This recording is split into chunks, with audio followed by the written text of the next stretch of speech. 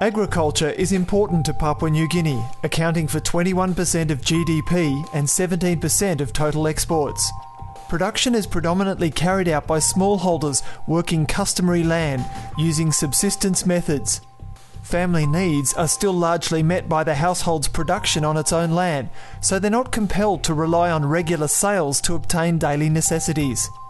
Supply chains generally operate with spot market forms of governance, characterised by short term, opportunistic, sometimes exploitative, and even violent behaviours. There are few incentives for smallholders to improve consistency of supply or quality to markets outside their local area. This perpetuates poverty and disempowerment of smallholders, and if they aspire to change their situation, the cost of accessing education and health drives significant internal migration to major urban centres. In particular, this has caused social and environmental problems in the peri urban areas around the capital, Port Moresby.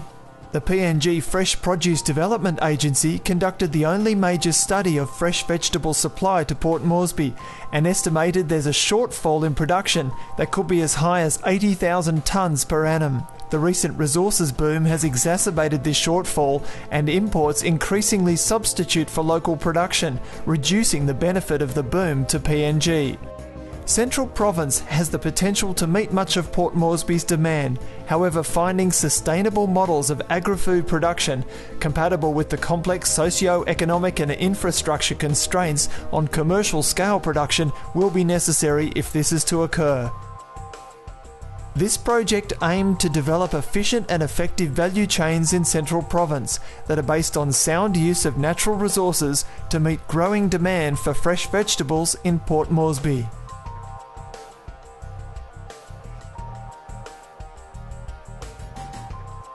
The fundamental reason that we're working with smallholder farmers in Papua New Guinea is that as their own food retailing system develops, multinational companies that are moving into the country uh, because it's a less competitive marketplace start to look for direct supply from large suppliers who can who can reduce their supply risk, give them price stability and quality and safety stability um, and all of these things uh, are aspects which smallholder farmers can't supply and can't guarantee. The retailing system passes them by and they get excluded from the modern retailing system and locked into poverty.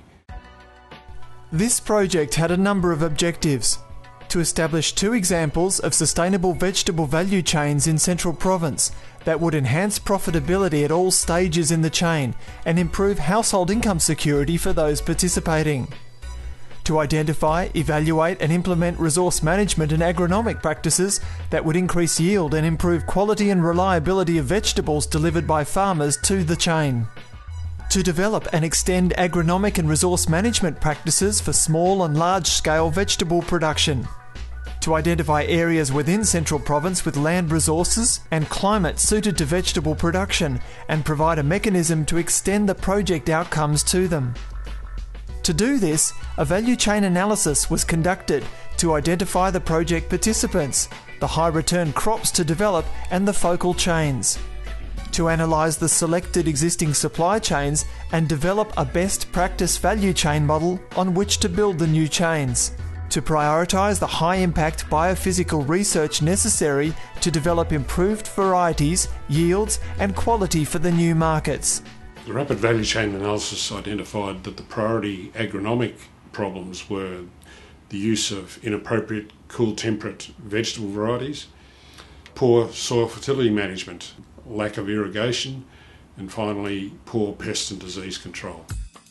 The analysis identified that the Rigo Koiari, Sogeri Plateau, and Tapini Station in Goilala district were the best sites for both research and extension to local smallholders. Rigo and Goilala are the poorest of the five districts in Central Province and among the poorest in PNG. The uh, Central Province government was interested uh, in understanding the marketing problems for some of its isolated areas, uh, and so they uh, requested that we conduct trials and try and establish a chain to uh, Tapini Station, which is in the Goilala district. This brought unique research challenges. However, the project was able to conduct the first detailed soil surveys of the district and conduct successful vegetable variety trials and social research. The aim of our agricultural research in, in PNG was to assist locals in the production of vegetables and that ranged from the low altitude, sea level, all the way through to sort of mid to high altitude ranges. And so we were looking at growing a range of different vegetables and they were grown at different altitudes according to uh, the likelihood of success. Our job was to, I guess, look at the range of soil types that are there and uh, assess their capability for a range of different types of uh, food crop production. Part of our job too was also to find those trial sites and suggest where they might be run. There's terrible issues getting fertiliser and uh, irrigation and resources to field crops, and to do it well, uh, to produce good good crops that are marketable, you need to make sure that the management goes up and the productivity goes up and the returns can come up. The next limiting factor becomes irrigation and cartage of water, and so the rollout of that uh, of a drip irrigation system was seen as a major coup for the project. So we've obviously identified particular vegetable species mm. that may be suited to the different altitudes, so the yeah. low, medium and, and high altitude. Then within each of those zones, we had different growing systems. And the idea there was to replicate what might be a standard growing system and compare that with a moderate input and a really high intensive input that we may have here, and here in Tasmania. Uh, and the idea there is to look at all the costs of the inputs, what's required, but also the quality and the, and the quantity of the product actually uh, that is produced and grown.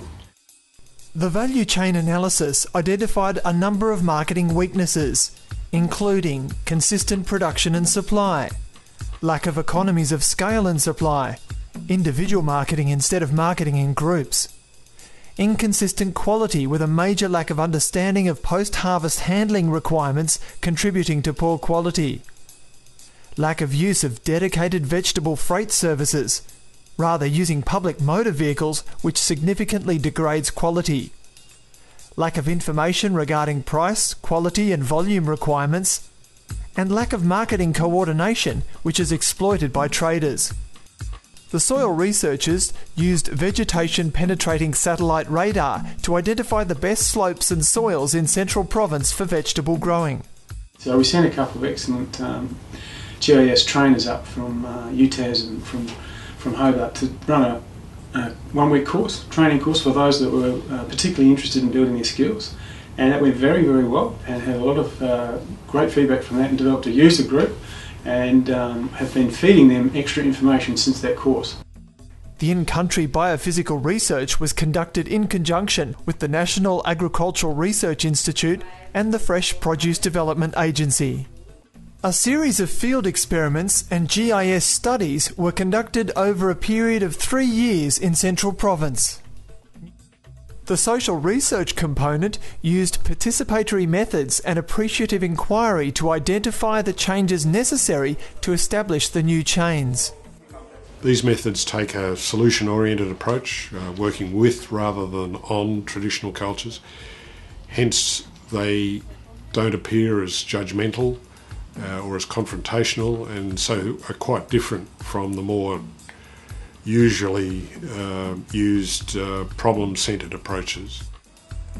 The social research team trained its in country partners in research methods, conducted awareness training in value chain management with the district agricultural officers and community leaders. They identified high value vegetables that could be grown in Central Province and they identified two new markets available one the largest supermarket, the other one of the largest public markets. Also conducted awareness training uh, at uh, in value chain management with both Rigo and Tapini farmers, separately for the men and boys as well as for the women and girls. Uh, and it identified the farmers' production and marketing problems and the skills training needs that they had to overcome some of those problems. Um, it also developed an annual plan uh, collaboratively with them as to what they wanted to do and uh, delivered a number of uh, high priority training courses in uh, both communities. Between the visits of Australian researchers uh, to, uh, to Papua New Guinea, um, our partners FPDA and NARI uh, provided advisory support for implementation.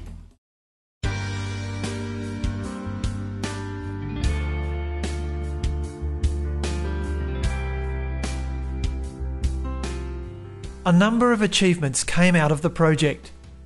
There were significant enhancements to the PNG GIS, agronomic, and value chain development capability. New, more suitable vegetable varieties and production methods were recommended. Field days and training workshops for farmers in agricultural and business skills were conducted throughout the project. Priority training needs for men and women smallholders were identified and training in business and agriculture was conducted throughout the project. Following the training needs analysis workshop, a group of young Kerekadi women collaborated on a crop production and marketing project by combining three large gardens. The fact that out of the workshop, nine of them collaborated and shared their gardens and appointed an auntie who was going to cook and look after their children and actually sold their uh, produce at market and made a lot of money. That to me was a, such a an achievement of theirs, but, but it had been stimulated by the workshop. But there are always things that slip and slide. I think we made a big, quite a big difference in some of the women that um, we've worked with so far in the project. Mm-hmm. There's, um, there's, there's changes in the farming practices now. There's changes in the um, livelihoods. New value chains were established to the Shop and Stop supermarket and the Pacific Adventist University market by several communities. The uh, Stop and Shop uh, chief buyer told us that uh, as a result of, uh, of his uh, involvement uh, as well and the training that we gave them, that the wastage of produce being supplied dropped from about 50% down to 5 to 10% which is a significant uh, uh, issue in Papua New Guinea, and so this was a, a, quite a major achievement. And the critical constraints on regional development were successfully identified and reported to government. For me, even getting to Tapini and talking to the community there and conducting those um, training needs workshops and, uh, and follow-on training, I would consider that as a great success. That's, that's very significant.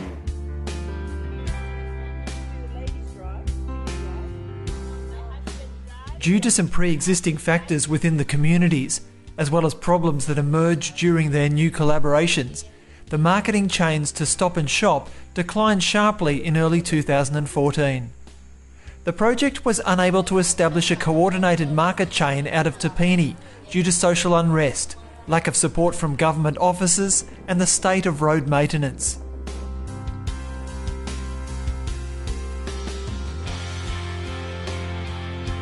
From the social and value chain research point of view, the major learning has been how the dynamic social relationships and traditional social practices in Central Province can interfere with the sustainability of project outcomes. So there's not many downsides for me. I really enjoy working with the people I have and certainly the women from NARI and FPDA, um, that close relationship, that reliance on their local knowledge was very important.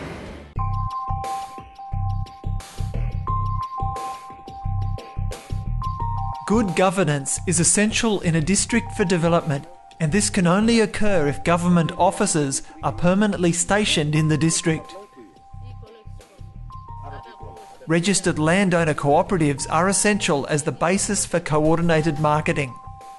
Governance training to ensure cooperatives are properly managed should be a priority in market development projects. And improved roads are essential to access markets and other basic infrastructure. Both our sites uh, suffered significantly with uh, appalling road systems that uh, could not sustain uh, regular uh, freight services of vegetables to Port Moresby, uh, particularly during the, the wet season. When you go into a community, because you don't necessarily understand the gendered relations, you don't understand the dynamics within the family or the tradition, then to keep alert, do no harm, just slows you down enough that you're not rushing in with solutions that may not have a good cultural fit.